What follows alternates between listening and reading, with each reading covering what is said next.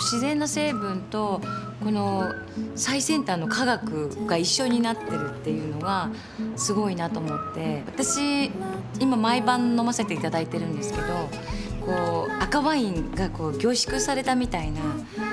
感じなんですけどそれよりもなんかもっとすごくすごい高いワインを飲んでるような感じでこうスプーン一杯ですっごく贅沢な感じなんですよね。新しいですよねあの普通はやっぱ錠剤だったりするので粉だったりしますけどこう液状でこう取っていくんですけどなんかそれが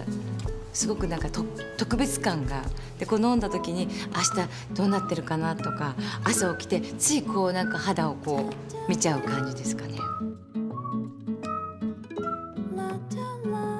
今すごく注目されてる成分ですよね。この体内のこういろんなサポートをしてくれるっていうすごい素晴らしい成分だっていうのを 最近知ったんですよ。びっくりしました。ちょっと言いにくいですけどね。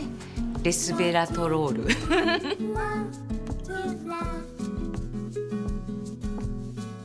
そうなんですか？ええー、あ、そうなんですか？